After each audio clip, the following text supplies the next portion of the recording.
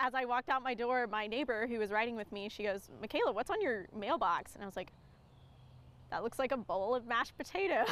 The face behind the mysterious mashed potatoes are leaving questions for neighbors among the Belhaven community.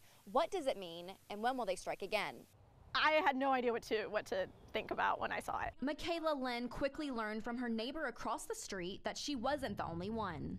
Thankfully, she told me that our friend on Facebook, she goes, that's really weird. She found a bowl in her car this morning. So because she said that, I was like, oh, okay, so this is a thing today. That's when Lynn realized the person behind the mashed potatoes might be someone they know. A lot of the people that are victims of the mashed potatoes have been either Belhaven current students or alumni or staff. So I feel like there's some sort of connection there. For the past five years, Jordan Lewis has lived in the Belhaven community.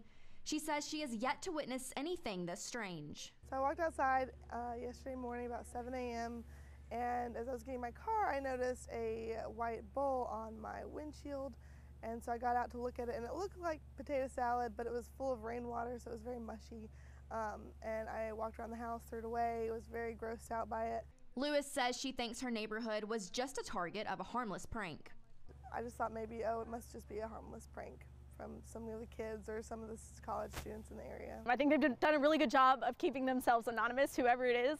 Um, so I, I'm just excited to see if they do something like this again. So the question remains, what is the story behind these mystery mashed potatoes? Well, the Belhaven community says they are eager to find out. In Jackson, Summer Tadlock, three on your side.